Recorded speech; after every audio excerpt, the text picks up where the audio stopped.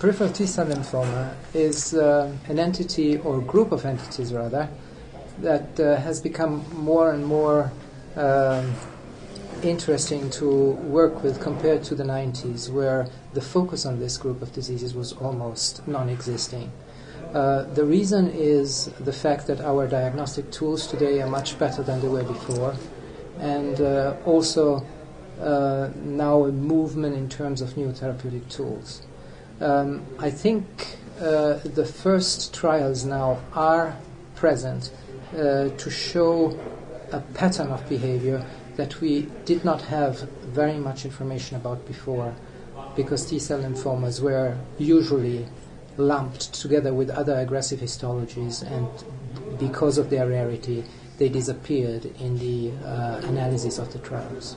So we know today that there are quite many cases that are refractory from the beginning to induction therapy, and these cases will be prone to be helped by totally new uh, therapeutic strategies.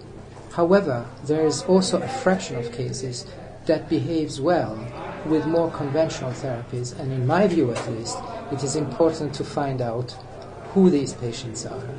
And this can only be done on the basis of a systematic work uh, done with the tools we know and where we go and dig into the data and find out who are the responders and who are the non-responders. So, uh, if you want, this this way of approach will create more clarity and um, not a constantly changing strategy that allows us to test new drugs, but not to have a platform of reference, if you want, on which to evaluate the potential usefulness of those new drugs.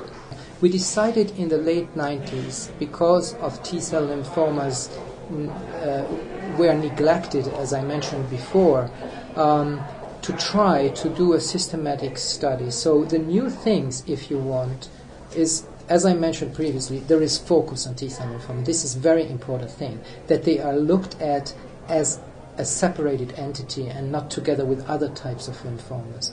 Then the fact that we now have some studies that are prospective and large enough, I underscore large enough, to uh, also um, um, connect with the heterogeneity of this group of diseases because they are so different. They are entities that differ in their behavior. So if you don't have a three, di- a three digit number, you will end up with very few groups of patients that we will, you will not be able to make very much sense out of the data. So the breakthrough is that we now have very few, but some large prospective clinical, clinical trials that give us a pattern of behavior.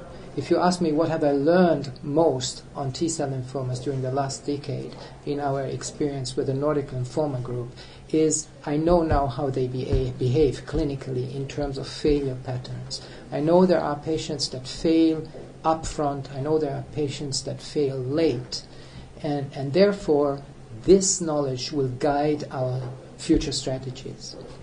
Uh, otherwise, I feel that we are just moving in the dark. Thank you very much. You're. Thank you.